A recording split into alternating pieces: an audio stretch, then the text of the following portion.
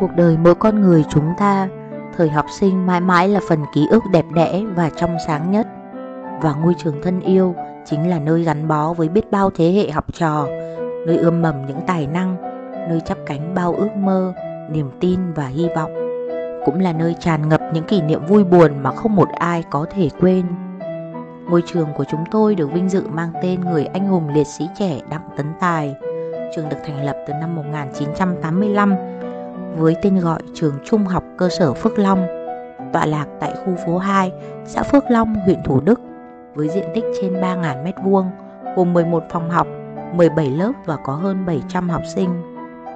Hiện nay, trường chuyển qua địa điểm mới xây dựng từ năm 2011 ở số 76, hẻm 128, đường Tây Hòa, khu phố 4, phường Phước Long A, thành phố Thủ Đức.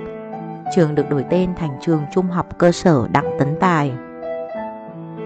Tổng diện tích của nhà trường là 16.000 m2, gồm 4 khối nhà, một trệt, hai lầu, có 38 phòng học, 15 phòng học bộ môn và các phòng chức năng, khối phòng hành chính, nhà thi đấu, hội trường, sân bóng, vườn sinh học, đường nội bộ và các sân chơi.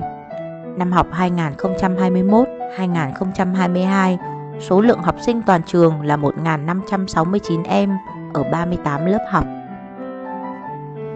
Hoạt động của nhà trường luôn diễn ra sôi nổi, các kỳ cương, nề nếp được siết chặt. Những tiêu cực trong học tập, thi cử luôn được hạn chế đến mức tối đa. Chất lượng giáo dục ngày càng được nâng cao. Trải qua quá trình hình thành và phát triển dài, năm nào trường cũng đạt danh hiệu tập thể lao động xuất sắc. Có nhiều giáo viên được công nhận danh hiệu chiến sĩ thi đua cấp cơ sở, giáo viên dạy giỏi cấp trường. Đoàn thanh niên, đội thiếu niên tiền phong Hồ Chí Minh được tặng giấy khen trong công tác. Đặc biệt, chất lượng học tập của học sinh ngày càng được cải thiện. Giữa năm 2021, thành phố Hồ Chí Minh nói chung và thành phố Thủ Đức nói riêng đối mặt với đợt dịch cao điểm. Giống nhiều ngôi trường khác, trường chúng tôi được trưng dụng làm khu cách ly các bệnh nhân F0, F1. Những cán bộ công nhân viên của trường đã tạm rời xa mái nhà thân yêu, xa gia đình để vào trường hỗ trợ phòng chống dịch. Cũng trong thời gian này, khi Phòng Giáo dục và Đào tạo thành phố Thủ Đức kêu gọi tình nguyện viên tham gia hỗ trợ trích vaccine cho người dân, nhiều giáo viên của trường cũng rất tích cực tham gia để đảm bảo sức khỏe trong thời gian tới cho những mầm non của Tổ quốc từ ngày 30 tháng 10 đến ngày 3 tháng 11 được sự chỉ đạo của Sở Giáo dục và Đào tạo thành phố Hồ Chí Minh, Phòng Giáo dục và Đào tạo thành phố Thủ Đức. Trường đã làm điểm trích vaccine ngừa Covid cho những học sinh đủ 12 tuổi tới 15 tuổi. Thầy và trò đã gặp nhau sau bao ngày xa cách nhưng trong một hoàn cảnh thật đặc biệt. Đầu năm 2020, làn sóng dịch Covid đổ bộ tới Việt Nam khiến việc học tại trường của hầu hết học sinh bị gián đoạn.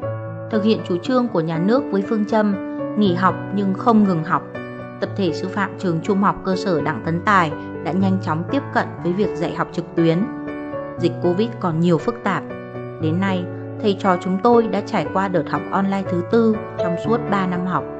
Tuy vất vả và mệt mỏi, nhưng một khi học trò chưa được đến lớp chúng tôi vẫn tiếp tục nâng cao khả năng công nghệ thông tin, tích cực tham gia các buổi tập huấn nâng cao trình độ chuyên môn, tất cả vì mục tiêu luôn giữ vững đôi tay chèo lái con đò chở kiến thức tới học sinh. Hiện nay, tình hình dịch bệnh đã dần được kiểm soát, ngôi trường thân yêu của chúng tôi không còn là nơi cách ly. Tập thể sư phạm, cán bộ công nhân viên nhà trường luôn trong tâm thế sẵn sàng chờ đón học sinh quay trở lại tiếp nhận thông tin về việc học sinh có thể quay trở lại trường sớm hơn thời gian dự kiến. Ban giám hiệu và công đoàn trường đã vận động giáo viên, cán bộ công nhân viên vào dọn dẹp vệ sinh để chuẩn bị những bước đầu cho việc đón các học trò trở lại. Sau khi trường thực hiện phun xịt khử khuẩn, các thầy cô đã dọn dẹp khuôn viên ngoài cổng, sân trường, các phòng học, phòng thí nghiệm. Những nhà giáo giờ đây lên lớp nhưng không đứng trên bục giảng, cầm phấn trắng mà đang lau từng chiếc bàn, chiếc ghế, cửa sổ, sàn lớp học.